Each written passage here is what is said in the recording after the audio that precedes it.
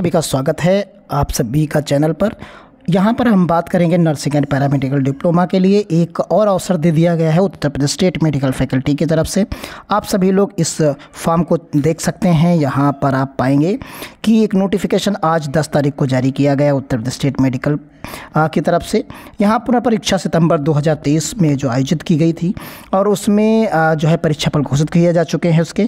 छात्र छात्रा अगर उसके लिए स्कूटनी भरना चाहे स्कूटनी फॉर्म भरना चाहें, अगर कि रीटोटलिंग कराना चाहते हैं, अगर उनको लगता है कि उनके मार्क्स कम हैं तो application for retotalling of marks theory जो थ्योरी में उन्हें मार्क्स मिले हैं, जो एग्ज़ाम में मिले हैं, उसकी अगर वो रीटोटलिंग कराना चाहते हैं तो एक फॉर्म जारी किया गया है, जो कि 10 तारीख से 11 तारीख के मध्य जो है केवल ऑनलाइन माध्यम से प्रति अभ्यर्थी, प्रति विषय, यानी एक अभ्यर्थी को एक विषय में अगर भरते हैं तो 500 दो विषय में भरते हैं तो उन्हें एक हज़ार रुपये, यानी प्रति विषय, प्रति छात्र के रुपये में पाँच सौ रुपये के हिसाब से उन्हें देना है।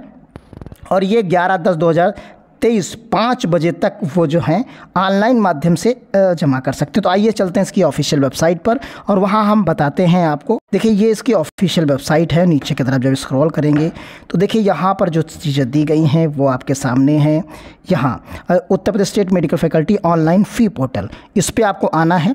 यहाँ पर जब आप जाएँगे तो यहाँ पर नीचे आपको एक फॉर्म, फॉर्मा खुल के आएगा। देखिए, यहाँ पर अप्लीकेशन फॉर द रीटोटलिंग यहाँ पर रीटोटलिंग थ्योरी के लिए यहाँ पर दिया गया है। इसे आपको क्या करना है? ओपन कर देना है। इसे जब आप ओपन करेंगे तो फॉर्म आपके सामने खुल जाएगा। एग्ज़ाम मंथ क्या रहा है आपका? तो यहाँ पर एग्ज़ाम मंथ आप जानते हैं सितंबर है। एग्ज़ाम ईयर क्या है? तो 2023 है।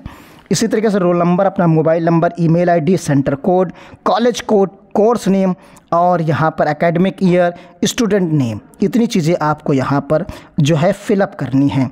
फिर उसके बाद फादर सब्जेक्ट कौन से हैं? फिर मार्कशीट जो आपकी थी, जो मिली है, उसकी अटैचमेंट करना है अमाउंट भरना है पेमेंट मोड पर जाना है और प्रोसीड कर देना है।